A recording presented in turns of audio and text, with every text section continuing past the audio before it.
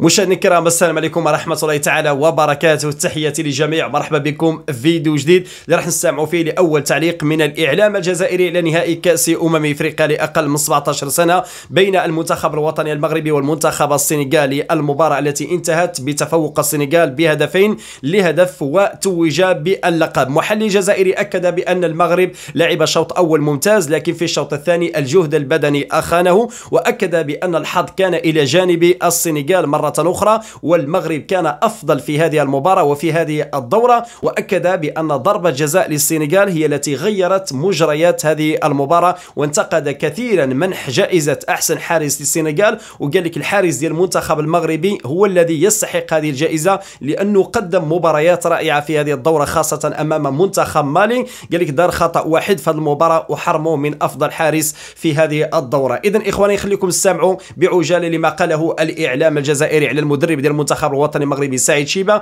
وكذلك على حارس المرمى والأداء ديال أشبال الأطلس في هذا النهائي. وأنتم كتشاهدوا الفيديو ما تبخلوش علينا بلي لايك واشتركوا في القناة وفعلوا خاصية الجرس باش يوصلكم دائما الجديد. ديالنا أول بأول. تحياتي لكم وديما